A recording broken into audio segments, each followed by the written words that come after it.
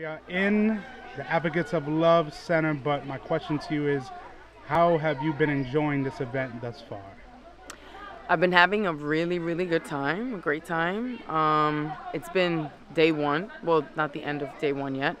Um, but right now we're working with kids. Um, they have um, been having a good time as well. And they're a range of ages. Um, I think the oldest is 17. Um, and it's been good so far to bond with kids that don't have um, a lot of interaction with outside people, from what I understand.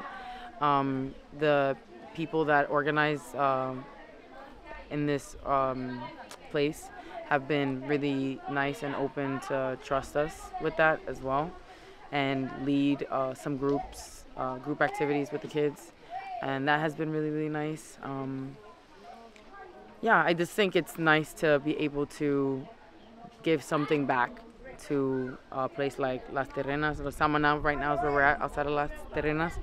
Um, and um, I'm grateful that I'm able to to be here and connect with kids that are from where very close to where I'm from, and um, so yeah. Awesome. And then lastly, what are some words you want to give to Ace and Guillermo?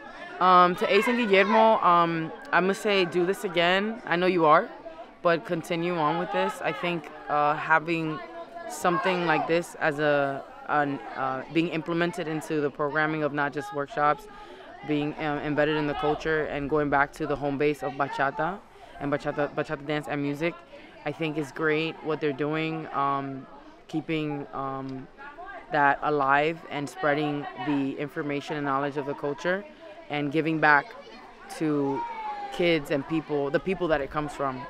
So I said, keep doing what you're doing, and I'm really happy to be here, and I'm happy that this, um, uh, you guys, you know, set this and organi- organize this, um, this up. Awesome. Yeah.